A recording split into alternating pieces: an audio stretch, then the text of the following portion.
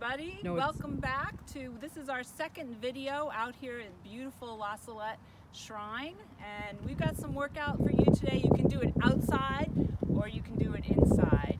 If you happen to have a scarf or maybe a broomstick that's just laying around, go ahead, take a hold of it and just stretch it up overhead as far as you can. Maybe it's here, maybe it's not like just to your chest level. Anna's even doing it with nothing. So whatever you happen to have around, let's just do five more like that. You remember this from doing it at the Y with us. This is a nice stretch for your shoulders, for your chest. Go ahead and stretch overhead. And this is great for a posture reset too. We want to make sure that our posture is nice and tall. I don't know, I wasn't counting, Anna. Did I- do I- Oh, I you guys know. are going to the limit done. here. One more. All right, we're done. Okay, let's go ahead and try to do a few balance exercises. You can grab onto a chair, grab onto your counter in the kitchen or a wall, whatever you have handy. Feet right under your hips. Go ahead, lift up one leg and hold it. Now, if you're feeling frisky, see if you can do it without holding on. It is okay if you can't. If you need to tap down and then bring your foot up again, you can. Let's hold it for five seconds. Ready? Five, four, three, two, and one. And let's go ahead and rotate to the other side. Pick up that other leg. Hold it. Try and balance on your own if you can.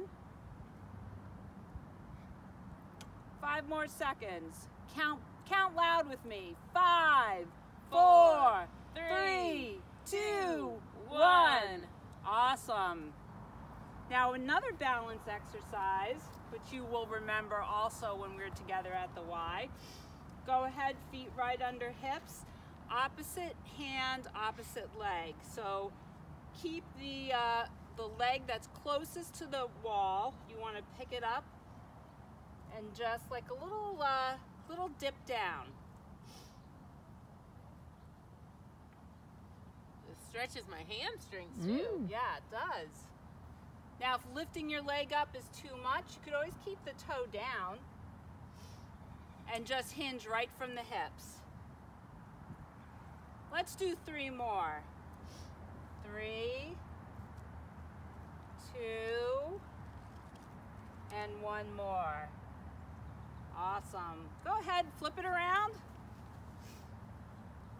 Pick up that that leg. Dip down.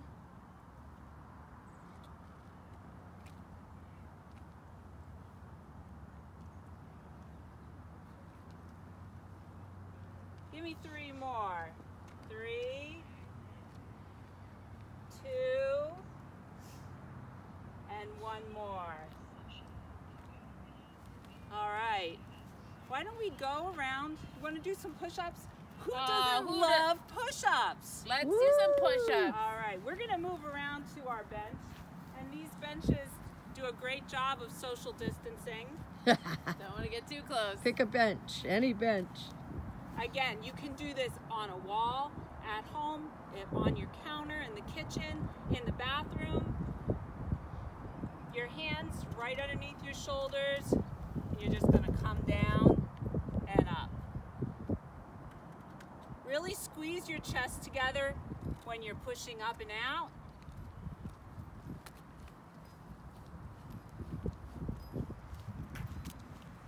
If you want a little bit of an extra challenge and you're on the wall, I don't know if I can do this on the Oh bench. boy. Do it, girl. You can do it.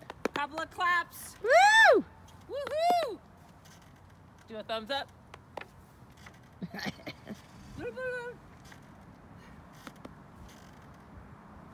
All right, let's do five more, Anna. What do you All think? right.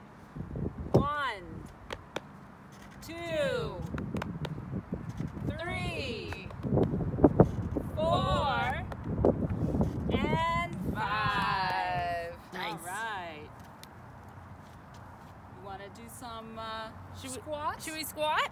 Let's squat. All right, wide feet. Make sure that that you have something to catch you if you fall. So chair or bed.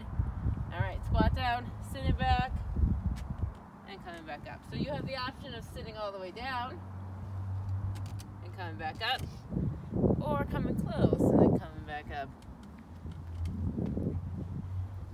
Keep going. Get those legs moving. You can do this while you watch TV. Every commercial, do some squats.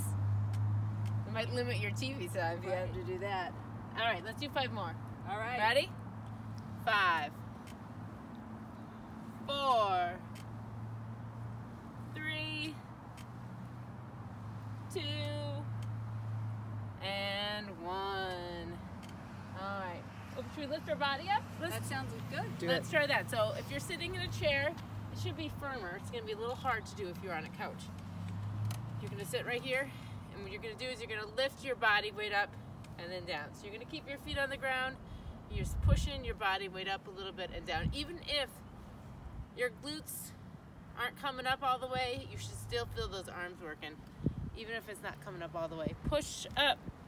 I'm gonna just And zoom down. in here so they can see. So you're pushing the body up and then down. It's okay if your butt's not getting all the way up and then down. It's great if you squeeze those biceps Woo. and triceps. Yeah, Woo. you can feel all your arms working.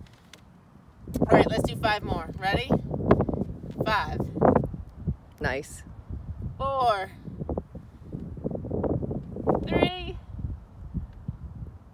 two, and one. Nice. Awesome. Why don't we finish off this video with a little brain teaser? What Oh boy. think? Is your brain awake today? This is something you can do at any time. Go ahead, make two fists, bring them out nice and long in front of you. Your right hand, extend your pinky, bring it back in. Extend your right thumb up, bring it back down. Now, the other hand, extend your pinky, bring it in. Left thumb up, bring it down. Okay, this is where it's going to get tricky. Oh boy. Right thumb, left pinky. Bring it in. Left thumb, right pinky. Nice. Bring it in. Let's try that. Nice and slow. Don't rush it. Think about what you're doing.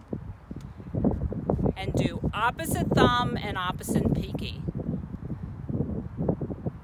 Let's do five more. Five, four, three, two, one. It's a little trickier than you think.